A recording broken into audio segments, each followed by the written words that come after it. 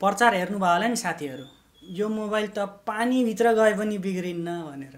कुनै कुनैमा चाहिँ ओहो पानी पानीमा फोटो खिच्दै हिँडिरहेछ। झम झम्ती पानी परेको तर पनि फोटो खिच्दै हिँडिरहेछ। हाम्रो मोबाइल भने यति पानी कताबाट परेको थियो बिग्रिहाल्छ। किन यस्तो हुन्छ? कुनै मोबाइल चाहिँ झम झम्ती पानी पर्दा नि नबिग्रिने। कुनै मोबाइल भने यति कतैबाट पानी परेको त बिग्रिने। त्यसको लागि साथीहरू आइपी रेटिङ भन्ने चिज बुझ्नु पर्दछ आइपी रेटिङ भनेको थाहा कि थाहा छैन? यदि थाहा छैन भने यो भिडियोलाई अन्त्यसम्म हेर्नुहोस् स्किप पनि नगर्नुहोस्। र यदि तपाईँहरू पहिलोपटक आएर हाम्रो यो च्यानलमा भिडियो हेर्दै हुनुहुन्छ भने हाम्रो यो च्यानललाई सब्सक्राइब गर्नु होला किनकि यस्ता भिडियोहरू हामीले रेगुलर ल्याउँछौँ। फेरि भिडियो हेर्न छुट्नु होला भनेर चाहिँ यहाँ नोटिफिकेसनको बेल पनि थिचिहाल्नुहोस् र ढिलो नगरिकन लागौँ भिडियोतर्फ। हाम्रो च्यानललाई सब्सक्राइब गरी बेल आइकन थिच्न नभुल्नुहोला। आइपी रेटिङ भनिन्छ नि आइपी रेटिङको फुल फर्म के हो त? आइपीको फुल फर्म भनेको चाहिँ इन्ग्रेस प्रोटेक्सन हो। अब इन्ग्रेस भनेको के हो?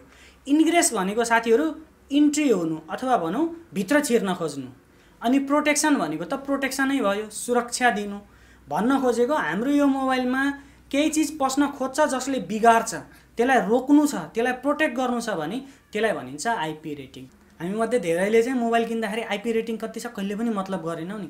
यो भिडियो हेरेपछि चाहिँ पक्कै पनि एकचोटि आइपी रेटिङ कति छ भनेर सोध्नु होला अथवा हेर्नु होला। र अब आइपी रेटिङ भनेको त बुझ्नुभयो होला कुनै पनि चिज छिर्न खोज्दैछ त्यसलाई प्रोटेक्ट गर्ने कुनै एउटा चिजलाई चाहिँ आइपी भनिन्छ। रेटिङ के हो भन्दाखेरि चाहिँ त रेट गर्ने कतिको छिर्न दिन्छ अथवा कतिको छिर्न दिन्न त्यसलाई चाहिँ रेटिङ भन्ने गर्दछ। र आइपी रेटिङमा हेर्नुभयो होला साथीहरू तपाईँहरूले जहिले पनि दुईवटा नम्बर देख्नुहुन्छ। यो मोबाइलको मात्र कुरा होइन हरेक इलेक्ट्रोनिक्स र इलेक्ट्रिकल डिभाइसमा चाहिँ आइपी रेटिङ हुने गर्दछ। मोबाइलमा मात्र आइपी रेटिङ हुन्छ अरूमा चाहिँ हुन्न भन्ने नसोच्नु होला। अब आइपी रेटिङमा किन दुईवटा नम्बर हुन्छ भन्दाखेरि साथीहरू आइपी रेटिङको दुईवटा नम्बरले चाहिँ दुईवटा स्टेटलाई जनाउँदो रहेछ कि एउटा सोलिड स्टेटलाई एउटा चाहिँ लिक्विड स्टेटलाई जस्तो मोबाइलभित्र धुलो पसेर पनि बिग्रिन्छ। मोबाइलभित्र पानी पसेर नि बिग्रिन्छ। धुलोको पनि एउटा स्टेज हुन्छ नि कतिको धुलो एकदमै मसिनो धुलो अलि ठुलो धुलो अनि पानीमा पनि खालि लिक्विडमा पानी मात्र त हुन्न नि।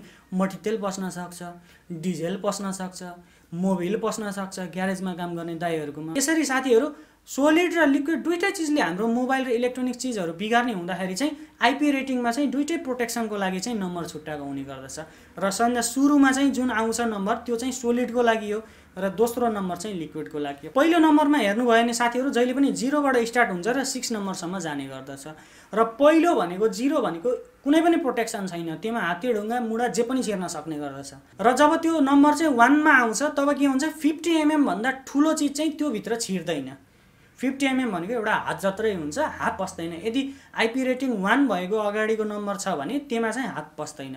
त्यसै गरी चाहिँ टूमा आयो भने त्योभन्दा सानो थ्रीमा आयो भने त्योभन्दा सानो सानो सानो गरेर चाहिँ जब फाइभ नम्बरमा आउँछ तब एकदमै मसिनो वान एमएमभन्दा पनि सानो चाहिँ धुलो चाहिँ त्योभित्र पस्दैन भन्ने बुझिन्छ। र जब नम्बर सिक्समा आउँछ त्यो भनेको कम्प्लिट प्रोटेक्सन धुलोबाट। अर्थात् सोलिड स्टेटको कुनै पनि धुलोबाट चाहिँ कम्प्लिट प्रोटेक्सन भयो भने चाहिँ त्यसलाई सिक्स नम्बर भन्ने गर्दछ। तपाईँहरूलाई मैले यहाँ स्क्रिनमा देखाउन गइरहेको छु जिरोदेखि सिक्ससम्म चाहिँ के के को प्रोटेक्सन छ भनेर। र अब आउँ लिक्विड स्टेटमा। लिक्विड स्टेटमा साथीहरू जिरोबाट स्टार्ट भएर नाइन केसम्म जाने गर्दछ। जिरो भनेको नो प्रोटेक्सन त्यहाँभित्र बाढी पहिरो जे पनि छिर्न सक्ने गर्दछ। तर जब वानमा आउँछ वानमा आइसकेपछि के हुन्छ भन्दाखेरि सिङ्गल ड्रपबाट चाहिँ प्रोटेक्सन दिने गर्दछ। सिङ्गल ड्रप कतैबाट आयो भने त्यसलाई चाहिँ वाइप गर्ने गर्दछ अथवा भनौँ त्यो डिभाइसभित्र छिर्दैन। त्यसपछि त्यो नम्बर बढ्दै जाँदाखेरि के हुन्छ? एकतिरबाट परेको पानीलाई रोक्ने गर्दछ अर्कोतिरबाट आएको सावरलाई प्रोटेक्ट गर्ने गर्दछ एङ्गलहरू फरक हुने गर्दछ। त्यसपछि बिस्तारै जेट भन्न खोजेको। पिचकारी हान्न त अलिक फोर्सली जान्छ नि त। पिचकारी पनि भित्र छिर्दैन तपाईँहरूले यहाँ स्क्रिनमा हेर्नु होला है। मैले यहाँ चाहिँ यो नम्बरमा यो भनेर पर्दैन। यहाँ नम्बरमा चाहिँ देखाइएको छ। तर त्यो नम्बर जब बढ्दै जान्छ त्यसपछि के हुन्छ? सातौँ नम्बरमा आउँदाखेरि साथीहरू अब चाहिँ डुबाउने प्रोसेसमा आउँछ। जस्तो छ नम्बरसम्म चाहिँ माथिबाट कुनै एङ्गल यताउताबाट थियो। तर सात नम्बरमा आउँदाखेरि के हुन्छ डुब्यो भने बाँच्छ कि बाँच्दैन त त्यो डिभाइस भनेर। सातौँ नम्बरमा के हुन्छ भन्दाखेरि तपाईँहरूको यदि मोबाइल एक मिटरभित्र पन्ध्र मिनटसम्म रह्यो भने पनि त्यो मोबाइल चाहिँ बिग्रिँदैन। पन्ध्र मिनटपछि निकाल्नु भयो भने पनि त्यो चाहिँ मोबाइल जस्ता तस्तै हुन्छ बिग्रिँदैन। त्यसै गरी साथीहरू आठौँ नम्बरमा आउनुभयो भने चाहिँ एक मिटर थियो। अहिले तिन मिटरको गहिराइको पानीमा लगेर पनि आधी घन्टासम्म चाहिँ तपाईँहरूको मोबाइल चाहिँ बिग्रिँदैन। र अहिले लेटेस्ट आएको के हो भन्दाखेरि नाइन के भनेर छ। नाइन के भनेको के हो भन्दाखेरि त्यही पानी चाहिँ तातो छ भने त्यो चाहिँ हाई टेम्परेचर र प्रेसर भएको पानीबाट पनि उसले चाहिँ प्रोटेक्सन दिन्छ।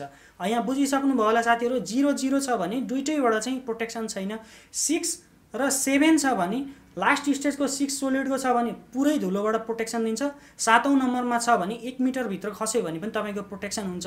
आठौँ छ भने पुरै तिन मिटरसम्मको प्रोटेक्सन दिन्छ। त्यसै गरी चाहिँ नौमा गयो भने त यदि टेम्परेचर राइज गर्यो भने वाटरको त्यहाँ पनि प्रोटेक्सन दिने गर्दछ। यसरी साथीहरू आइपी रेटिङमा चाहिँ फरक फरक स्टेजको चाहिँ मोबाइलहरू पाइने गर्दछ। तपाईँहरूले चाहिँ आइपी रेटिङ कति भएको मोबाइल लिनुभयो भने प्रोटेक्सन फुल तरिकाले पाउनुहुन्छ भन्दाखेरि सिक्स सेभेन एट नाइन। यदि तपाईँहरूको मोबाइलको IP rating sixty eight sixty seven sixty nine छ भने हुर्राइदिए हुन्छ स्विमिङ पुलमा। केही पनि बिग्रिँदैन। र साथीहरू रोशनले भन्नु भन्दैमा चाहिँ फेरि स्विमिङ पुलमा मोबाइल फाल्न नजानु होला यो आइपी रेटिङको स्ट्यान्डर्ड चिज हो। जसले गर्दाखेरि चाहिँ हामीले मोबाइल किन्दाखेरि कतिको प्रोटेक्सन मोबाइलमा पाइन्छ भन्ने कुरा जनाउने गर्दछ। र बुझिसक्नु होला साथीहरू आइपी रेटिङ भनेको के हो र कति आइपी रेटिङको मोबाइलले कतिको प्रोटेक्सन दिन्छ भनेर। तपाईँहरूलाई यदि भिडियो मन पऱ्यो भने लाइक गर्नु होला साथीहरूसँग सेयर गर्नु होला र हाम्रो च्यानललाई सब्सक्राइब गर्न चाहिँ नबिर्सिनु होला किनकि यस्तो भिडियो हामीले रेगुलर ल्याउँछौँ। साँच्चै हो ढाँटेको होइन। र आजलाई यति नै फेरि भेट्ने बाचासँग अहिलेलाई बिदा हुन चाहन्छु। हजुरहरूको दिन शुभ बितोस्। हस्त नमस्ते।